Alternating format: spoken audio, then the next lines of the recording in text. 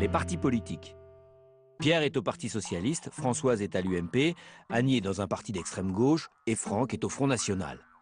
Ils sont donc tous membres d'un parti politique. Ça veut dire qu'ils ont décidé de rejoindre d'autres gens qui pensent comme eux et défendent la même vision de la société. C'est dans les années 1870, à la naissance de la Troisième République, que sont vraiment nés les partis politiques tels qu'on les conçoit aujourd'hui. Avant, les ouvriers se réunissaient dans des organisations ouvrières, les paysans défendaient leurs intérêts, comme les nobles ou les bourgeois, chacun de leur côté, et les mandats électifs se disputaient entre personnalités influentes et notables locaux en fonction de leur respectabilité.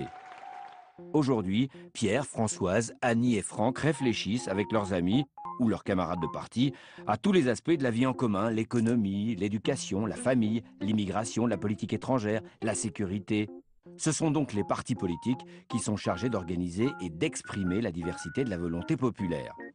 Ils doivent recueillir les besoins, les volontés, les aspirations de la population pour les transformer en propositions concrètes.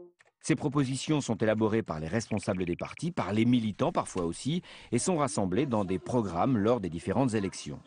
D'ailleurs, la Constitution de la Ve République, je vous en parle dans un autre épisode, le dit dans son article 4. Les partis politiques concourent à l'expression du suffrage. Le second rôle des partis politiques, c'est d'organiser la sélection des candidats que chacun d'entre eux présentera aux différentes élections.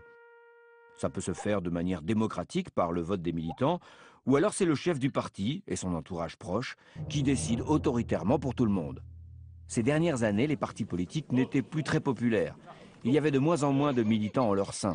Une grande partie de la population estime qu'ils sont devenus des repères d'ambitieux qui vivent dans leur monde et qui veulent simplement accéder au pouvoir.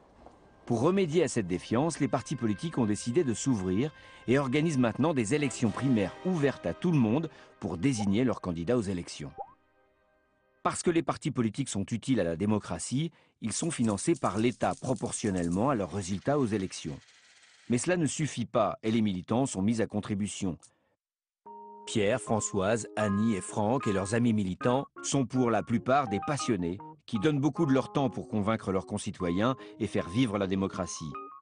Certains sont surtout ambitieux et rêvent d'atteindre le pouvoir. Parfois, ils peuvent être les deux. C'est généralement ceux-là que l'on retrouve députés, maires, ministres et bien sûr président de la République.